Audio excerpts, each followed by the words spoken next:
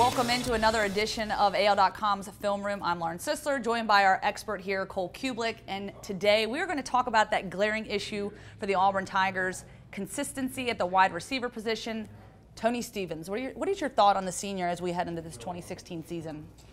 Lauren, this is a position of need for Auburn. I think not only because there's not a lot of experience at receiver, but there could potentially be some quarterback issues. So, what's the best thing to bail a quarterback out? Good receivers. We've actually seen that in Auburn the past few years. Not so much last year. Ricardo Louis was sort of a bailout guy, but the previous year, Sammie Coates and Duke Williams, they were what I call erasers. They could erase mistakes of a quarterback. Don't really have a known product, known commodity coming back at that position. So Tony Stevens is somebody who I think that they'll have to rely on. They're going to have to find go-to receivers. And you see Tony Stevens here, little play action, six out. Just find a way to go up and make a play. Not the best throw from Jeremy Johnson, puts a little air under it. But you see Tony Stevens high point the football, go up, show strong hands, bring the ball back to his body, sort of in between two A&M defenders there. I like the fact that he's physical. I like the fact that he understands how to locate the football at its highest point, beat the defender to the ball, and go up and find a way to make a play for his team. Lauren, we'll take another look at Tony Stevens. Now lined up in the slot. Saw him out wide last time, so he's a guy that can line up in different places, do different things.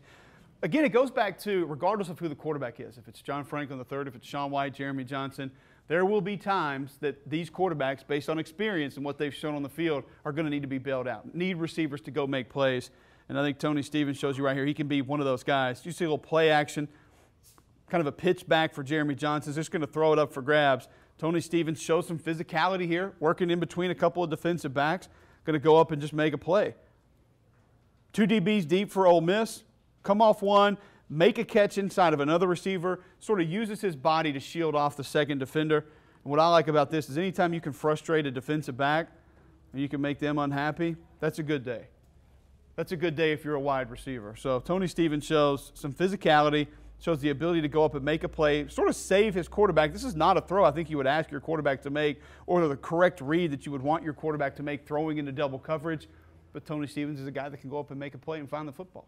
Got a lot, of young guys coming in, uh, hopefully getting some depth at that position. In terms of returning guys, who do you expect to make an impact and to help Tony Stevens in this position? I think Tony Stevens is one. I think Marcus Davis has to be the other. He really has been the most reliable receiver that's returning that Gus Malzahn has. There, there haven't been a lot of other guys that have been healthy and have been in big games and made big plays.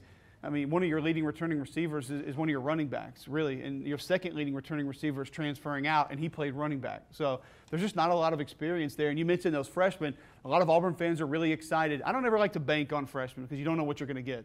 I've seen enough highly touted freshmen come in and really not do anything their first year or their career. I've seen guys that were walk ons or maybe not even offered until two or three guys bailed out of a signing class come in and be huge impact players. So I don't like to bank on freshmen because they're just unknown products but I think Auburn's going to have to find a way to do it this fall.